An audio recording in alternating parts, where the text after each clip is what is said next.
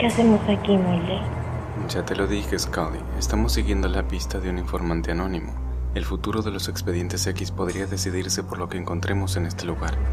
¿Los expedientes X no fueron cerrados hace 13 años? Elvis sigue siendo popular después de haber fingido su muerte.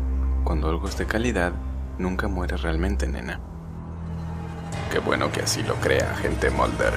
¿Qué demonios? No me reconoce. Imagíneme con algo más de piel encima. Y con un cigarro. El cigarro ayudaría mucho. ¿El fumador? ¿Cómo es posible? Como usted dijo, algunas cosas jamás mueren. Amigo, le dispararon en el corazón, lo empujaron por una escalera estando en silla de ruedas, hasta le explotaron un misil en la cara, y ahora es un esqueleto que habla. Así es. Chris Carter me llamó para aparecer en los nuevos episodios. Ya veo. Entonces finalmente vamos a saber qué ocurrió después del final de la serie. En realidad parece que los episodios van a ser historias independientes.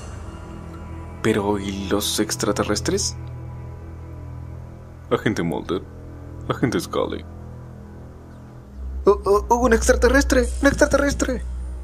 Sí, desde que invadieron la Tierra en 2012 están por todas partes. ¿Invadieron la Tierra? ¿Cómo fue?